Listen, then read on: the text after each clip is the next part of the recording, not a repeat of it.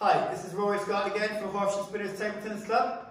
Now we're going to look at the backhand flick using long pimples. This is a rubber which is slower, it has more control. Instead of being smooth, it has pimples facing out. So a bit of a close-up. And people use it for more control. So what I'm going to do is I'm going to be stepping in under the table with my right foot to reach in for a short serve, playing the backhand flick, stepping back out again, okay? So the backhand flick, I have my wrist bent and my elbow bent at the beginning, then I straighten out and I go forwards and upwards, a bit like a frisbee action, hitting the ball top of the bounce timing with a closed angle, and then I step back out again. Often what happens is that if I do the flick with the pimples, it has less spin and the ball often dies into the table. So let's see if we can do that.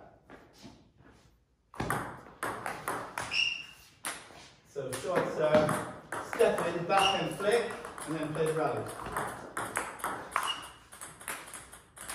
Often wins the point straight away. And sometimes it doesn't, and you, you have to hit the next shot to win the rally. But it often opens up the rally, ready for you to attack the next ball. One more. And if you're already a long pimples player, it's worth experimenting with this backhand flick.